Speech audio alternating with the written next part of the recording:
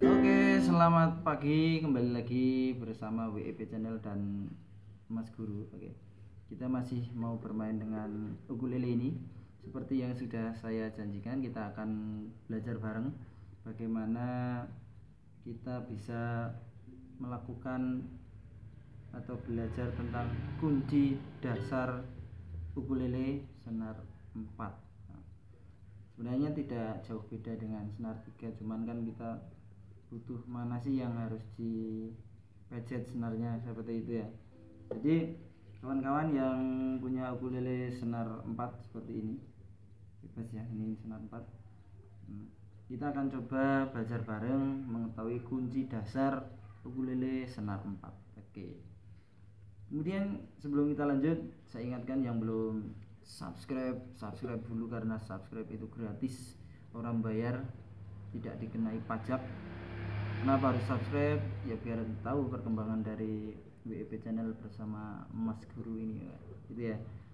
Oke kita langsung saja. Siapkan ukulelemu yang senar 4 kita nongkrong bareng. Lebih enak pakai kopi. Kalau capek minum kopi. Oke tak dekatkan dulu. Nah ini ya. Oke.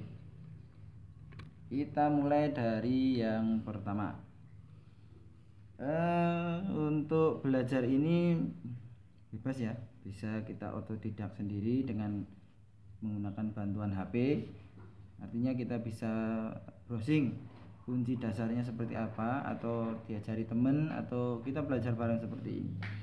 Kita akan coba yang pertama. Yang pertama kunci kunci apa dulu?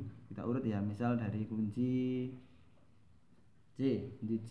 Oke, kunci C itu hampir sama dengan kalau kita bermain gitar. Jadi yang dipejet itu sama senar nomor 2 ini senar nomor 2 dan senar nomor berapa ini? Nomor 4 jadi ini dan ini. Nah kalau gitar kan ada tambahan senar nomor 5 itu. Karena ini cuma 4 yang dipejet ini dan ini. Nah seperti ini. Saya ulangi.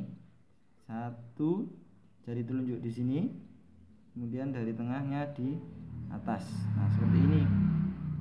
Nah bunyinya seperti apa nanti? Seperti ini bunyinya.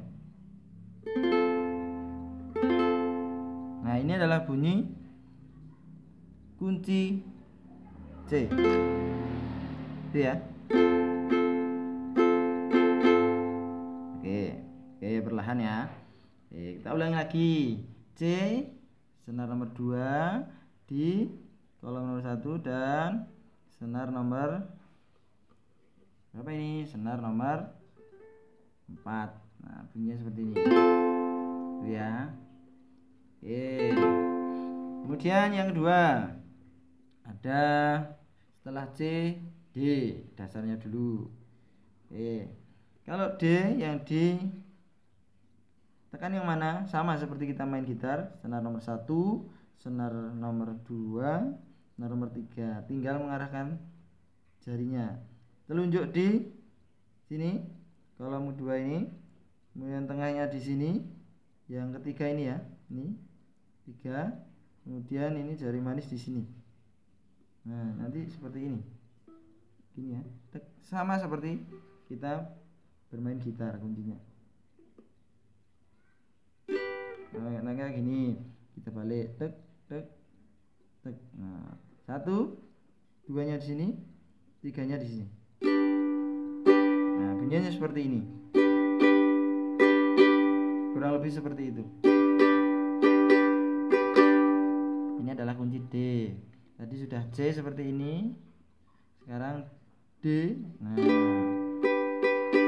setelah D itu kita beranjak ke E. E di mana E? E kan kalau di atas kan ini ini dan atasnya kan harusnya seperti ini. Tapi yang kita tekan adalah senar nomor 3 pada baris pertama dan nomor 4 nah, seperti ini. Satu dua. Nah ini. Ini adalah E. E seperti ini. Bagaimana? Kawan-kawan? Paham? Ini E ya satu dua. Ini E. Oke kalau sudah E sudah sedikit paham kita beranjak ke F. F itu sama seperti kita bermain kunci dasar gitar. Ini dua ini harus ditekan ya. F satu dua dengan kedua ini pakai telunjuk. Kemudian tambah lagi yang jari tengah ke senar nomor 3 yang kolom nomor 2 tek. Yang terakhir jari manis di sini. Nah ini adalah F. Bunyinya seperti ini. Bagaimana? Ini adalah F. Itu. Kalau ke teman-teman kesulitan ini seperti ini ya ini boleh satu toh yuk sini dan sini hmm, satu dua tiga. Ini F. Tapi lebih sempurna pakai ini. Satu duanya tekan pakai telunjuk. Ini ini. Nah ini ya. Ini F. Oke setelah F kita lanjut ke G. G ini simple. G itu cuman butuh satu tekanan pada satu senar. Di sini doang. Nih ini G. Kalau di gitar kan dengan senar nomor 5 dan 6 nah sekarang cuman di sini G. Ini G. Simple G paling mudah ini. Ya ini G ya.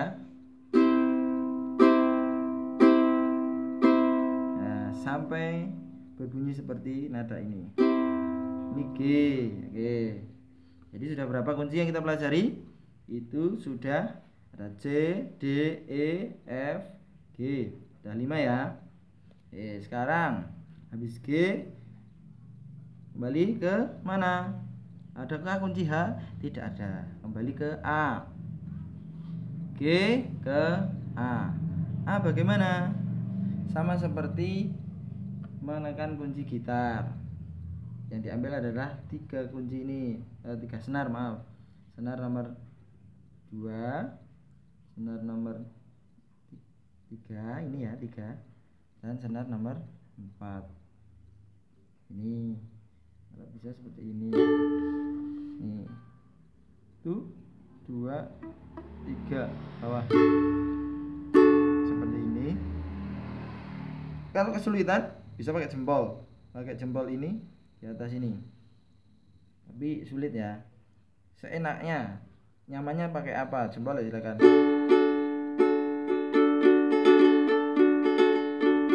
Nah sampai berbunyi seperti itu. Nah karena ini senar 4 itu ya. Ini adalah kunci A. Kemudian bagaimana kunci B? Nah kunci B ini sama tinggal geser satu kolom ya jadi B itu kan di sini. B kan 3 itu waga kalau dalam gitar kemudian yang ini. Nah kalau balok kan berdiri ini. Kalau B ini ya.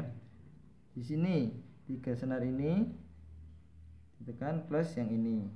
Oke satu telunjuk di sini. Terus tiganya di mana? Di sini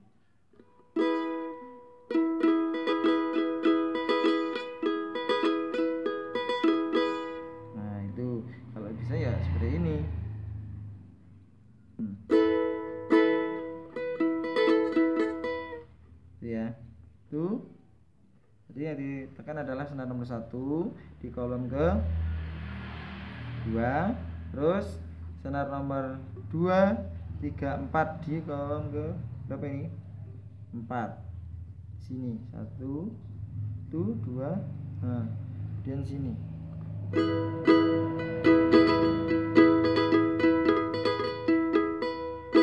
Seperti itu.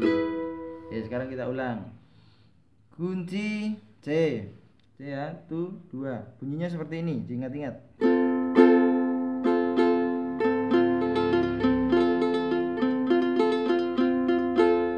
Ini adalah kunci C. Kemudian berpindah ke kunci D. Sama seperti kita tek tek ya.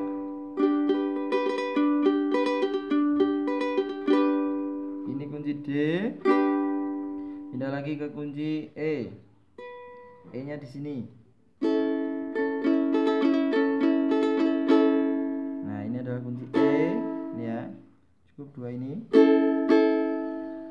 F. Tuh nah dua. Pencet ini ya. F. Kalau ini kesulitan karena pemula biasanya ini kan masih belum lemes ya. Ini. Tekan satu saja sini. Nah. Itu ya. Nah. WA nya di sini? Tek. Tek tek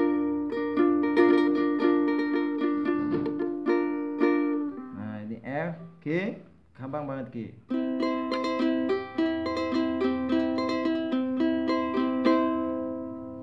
Terus yang terakhir ada A. A di mana? Sini tiga.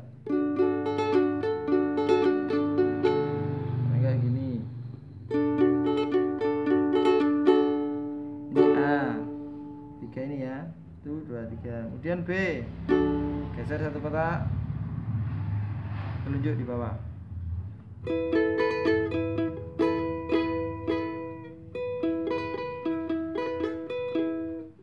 ya seperti ini.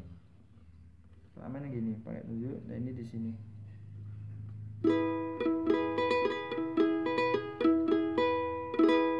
Nah jadi caranya pakai digenggam seperti genggaman tangan kucing atau macan. Nah B A. Kalau maju ya nanti ada ketemu C lagi C nah, gitu gitu ya kembali ke C nya di sini. Nah kita undurkan lagi. Nah bagaimana kawan-kawan? Sudah paham atau sedikit paham? Jadi nggak apa-apa lah yang namanya proses itu memang membutuhkan waktu. Sama seperti saya saya juga masih belajar.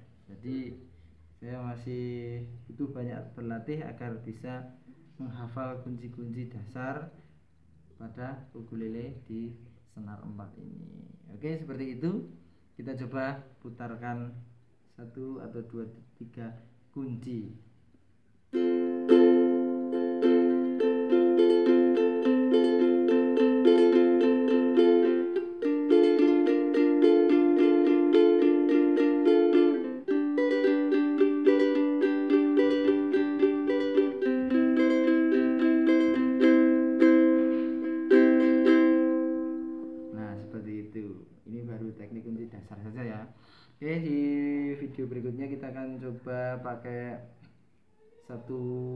lagu yang menggunakan kunci yang simple, yang dasar-dasar saja, nggak usah yang rumit-rumit. Kita belajarnya pelan-pelan. Yang penting asik buat genjrengan, gitu ya. Oke, selamat pagi. Terima kasih sudah berkunjung. Ketemu lagi di tutorial berikutnya bersama Mas Guru. Ya, ya.